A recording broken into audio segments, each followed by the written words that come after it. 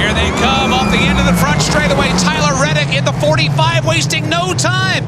美国改装房车系列赛 NASCAR 上周末在芝加哥街头竞速奔驰。The streets of Chicago to perfection. The final time.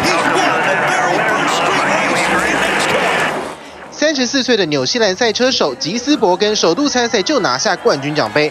不过对 NASCAR 来说，今年也是创纪录，七十五年来首度把城市街头变成赛道，绕行十二圈，共三点五公里。芝加哥为此连续封街整整两天，到十五号才会完全解除管制。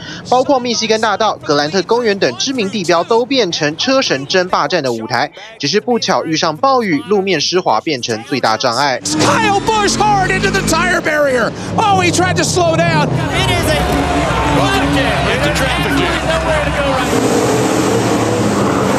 虽然意外不断，但是选手们都说能名正言顺在大都市街头竞速，手感体验真的太难得。 I think it's amazing. I mean, this is a really cool, you know, it's fun to just be in a hotel up the street and just be able to come down and, and, and go race and 想当车神，从小养成。美国这名十岁男童已经在训练当赛车手，戴安全帽、穿防护衣，毫不马虎，开的小赛车时速也可达九十六公里。